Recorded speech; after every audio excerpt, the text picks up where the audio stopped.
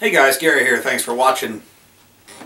Uh, so, you guys know I'm kind of looking at, uh, I've been doing this minimalist thing to a degree. And uh, one of the things that I uh, did a video on, I'll put the link right here, I hope, and uh, it was a minimalist gun belt. So instead of a war belt, I just turned it into a gun belt. That's literally all it is. It holds two magazines and a pistol. There's a knife on the, on the holster, but that's it. So uh, anytime that I'm going to be carrying a rifle, that's the belt that I put on to carry a pistol with instead of trying to carry concealed, and that gets in the way of my chest rig and all that kind of stuff.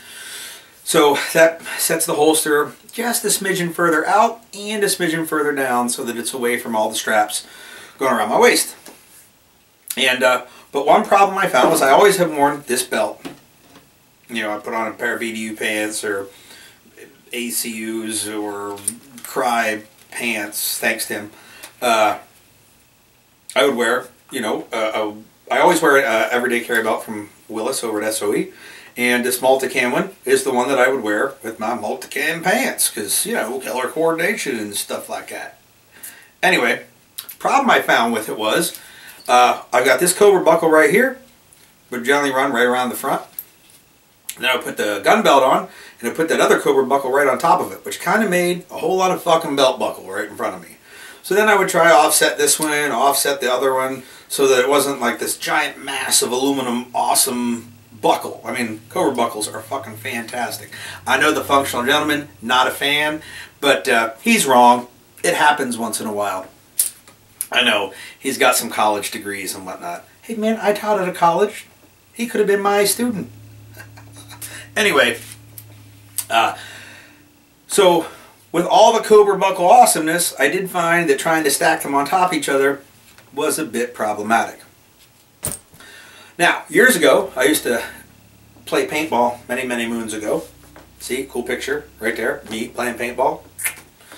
And uh, in those days, we had you know the the packs with all the paint and stuff on them, and a small belt belt buckle underneath of those was ideal just for comfort reasons. So I used to wear something like this guy right here, which was just two D-rings and a cheap fucking cotton woven belt.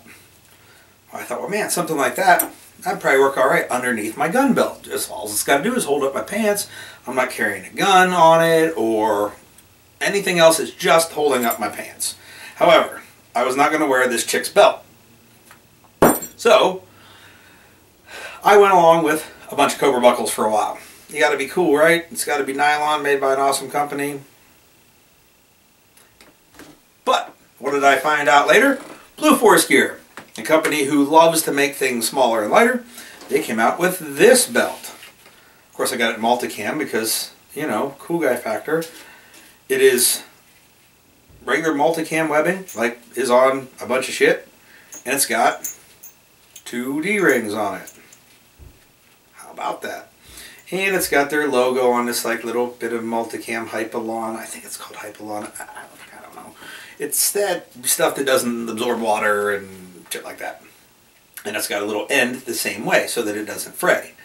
So it is this small minimalist belt that works great at holding up your pants. If that's all you need it to do is hold up a pair of pants, this is your cool guy minimalist tactical pants belt that's all it's going to do because as you can see it's real flimsy. I, uh, I tried carrying a, a, gun on it and uh, well it you know the gun didn't fall off or any, anything like that. It wasn't secure. It didn't stay in one spot in the right same orientation. It had a lot of flop and move to it. I tried just so I could tell you that I tried because I knew somebody was going to ask. It's not great for that. It would work in a pinch better than the cotton woven belt just because it's stronger. But uh, if you're looking at just to hold up a pair of pants underneath of a bunch of other shit, war belts, gun belts, battle belts, whatever your belt system, weapons platform thing is called, this small belt might be a whole lot more comfortable and it will hold up your pants all day, every day. So there you go. That is the minimalist gun belt. No, no, no. Minimalist pants belt. Works great with the minimalist gun belt. Blue Force gear, multicam, cool. What more could you ask for? Thanks for watching. Take it easy.